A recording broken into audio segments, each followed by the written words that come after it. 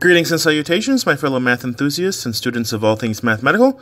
My name is Sean Spartan, and this video continues my series on figurate numbers, which are numbers that relate to certain geometric shapes in two or higher dimensions. In this video, I will introduce the pentagonal numbers and their properties.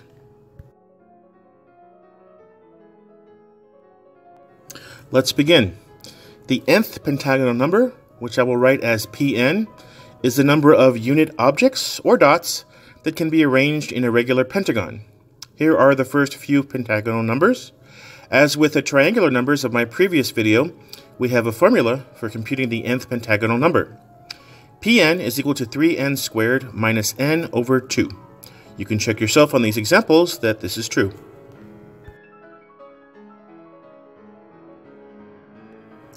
Here is a list of the first few pentagonal numbers. We also have a test for any given integer n to check if n is a pentagonal number. If the square root of 24 times n plus 1 plus 1 divided by 2 is an integer, then n is a pentagonal number.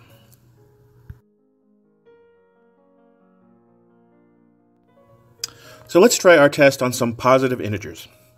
For n equals 5, we plug in 5 times 24, add 1, take the square root, Add 1 and divide by 6, and we get 2, which is an integer. Therefore, 5 is a pentagonal number. For n equals 12, we plug it in, do the calculation, and we get 3, which is also an integer. Therefore, 12 is also a pentagonal number. Now let's try 15. If I plug in 15, I perform the calculation, I get 3 and 1 third, which is not an integer. Therefore, 15 is not a pentagonal number. Now, even though 15 is not a pentagonal number, it is, however, a generalized pentagonal number.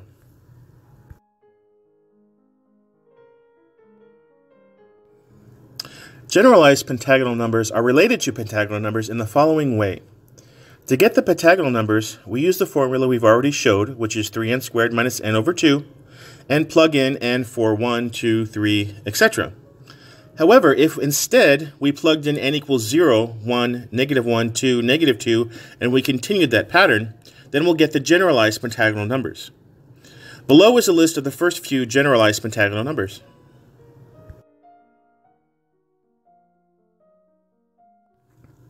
As with the pentagonal numbers, we do have a test for the generalized pentagonal numbers that is much easier to calculate. Given any integer n, n is a generalized pentagonal number, if and only if 24 times n plus 1 is a perfect square.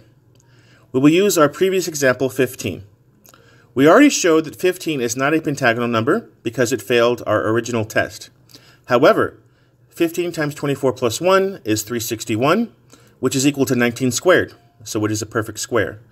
Therefore, 15 is a generalized pentagonal number.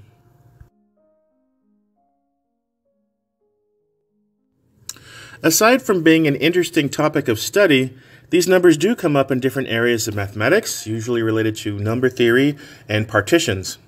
In fact, generalized pentagonal numbers are important to Euler's theory of partitions and come up in his pentagonal number theorem.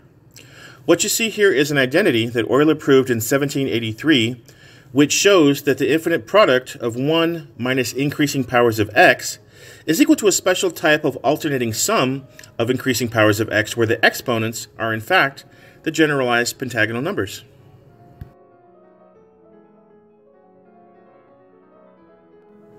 Now I'd like to talk about the relationship between pentagonal and square numbers. In my previous video, we showed there are infinitely many triangular numbers that are also square and how to find them. So it begs the question, are there pentagonal numbers that are also square? In other words, are there positive integers n and m such that Pn equals Sm, where Pn is the nth pentagonal number and Sm is the nth square number.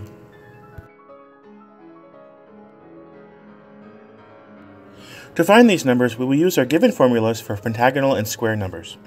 The nth pentagonal number is 3n squared minus n divided by 2, and the nth square number is just m squared, or m to the power of 2. We're going to place them equal to one another Use a little algebra called completing the square, and then simplify. What we are left with is 6n minus 1 squared minus 24m squared equals 1.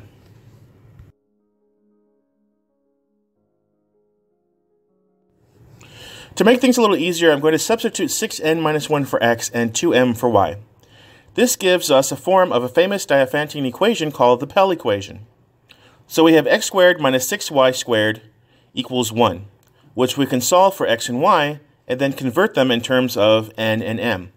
If we calculate a list of solutions and ignore any non-integer solutions, we get nm equals 1, 1, 81, 99, 79, 21, 97, 01, and so on.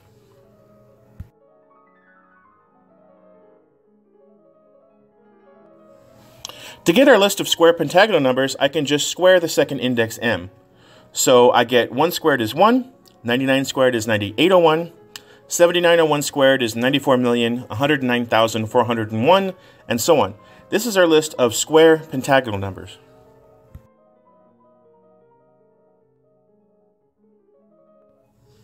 That's it. Thank you for watching. If you enjoyed the video, feel free to like, comment, and subscribe. If you have any questions or suggestions for future videos, please leave me a comment.